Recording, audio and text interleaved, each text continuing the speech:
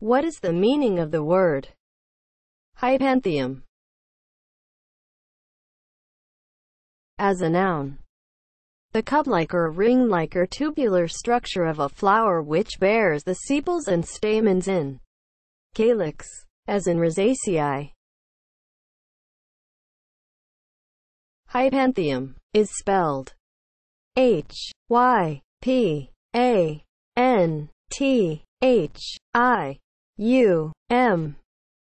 Hypanthium